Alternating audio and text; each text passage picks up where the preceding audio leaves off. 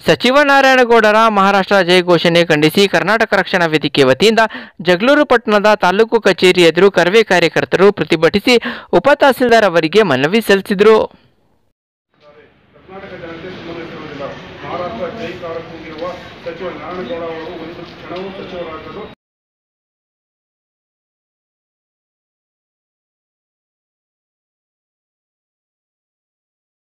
ಸಚಿವ ಸ್ಥಾನದಿಂದ ನಾರಾಯಣಗೌಡರನ್ನು ಕೈಬಿಡುವಂತೆ ಒತ್ತಾಯಿಸಿದರು.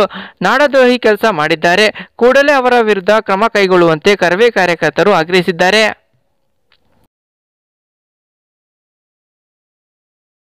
ಈ ಸಂದರ್ಭದಲ್ಲಿ ಕರವೇ ಅಧ್ಯಕ್ಷರು, ಸದಸ್ಯರು, ಇನ್ನಿತರರು ಪ್ರತಿಭಟನೆಯಲ್ಲಿ ಭಾಗವಹಿಸಿದ್ದರು.